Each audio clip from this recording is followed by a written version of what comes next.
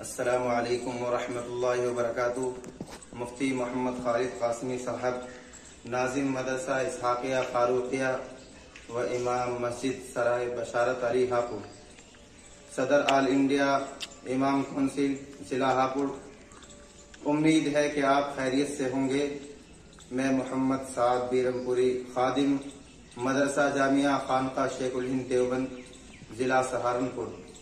آج آپ کے فرائیڈے کمنٹس باکس کے پچاسویں ایپیسوڈ کے آنے کے موقع پر میں آپ کو دل کی گہرائیوں سے مبارکباد پیش کرتا ہوں اور میں اس موقع پر آپ کا شکریہ بھی ادا کرنا چاہوں گا کیونکہ آپ کی ان ویڈیوز اور جو آپ فرائیڈے کمنٹس باکس جو یہ ہر ہفتے آپ ریلیز کرتے ہیں، آپ شائع کرتے ہیں، اس کے ذریعے سے جیسے سب لوگ فائدہ اٹھا رہے ہیں اسی طرح مجھے بھی بہت زیادہ فائدہ ہوا۔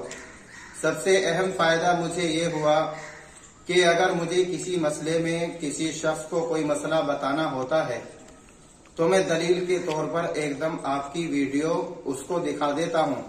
کیونکہ عام طور پر لوگ جو ہمارے بھائی ہیں یا ہمارے بڑے ہیں، جو متعلق ہیں، جو پوچھتے ہیں مسائل، وہ اردو پڑھے ہوئے نہیں ہیں۔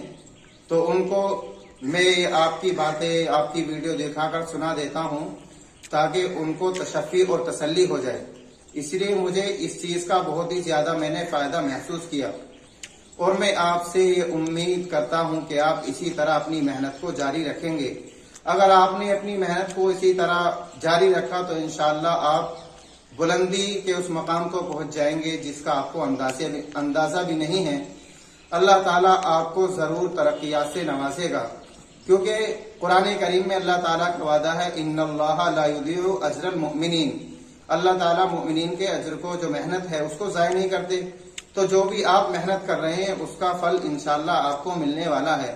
تو میں تو آپ سے یہی کہوں گا کہ جیسے آپ محنت کر رہے ہیں ہمارے لیے، اسی طریقے سے آپ محنت کرتے رہے تاکہ ہمیں فائدہ ہوتا رہے اور ہمارے دل سے آپ کے لیے، آپ کی فیملی کے لیے اور جو آپ کے اساتذہ ہیں جنہوں نے آپ کو اس مقام تک پہنچایا، جو آپ کے دوست ہیں، رشتہ دار ہیں، اور جو بھی آپ کے معاونین ہیں، ان سب کے لیے ہمارے دلوں سے جو ہم سیکھنے والے ہیں، ہم آپ کے شاگرد، ہم آپ سے پڑھنے والے، آپ کی ویڈیوز دیکھ کر ہم کچھ سیکھنے والے جو ہیں، آپ کے لیے ہم ہمیشہ دعائیں کرتے رہیں۔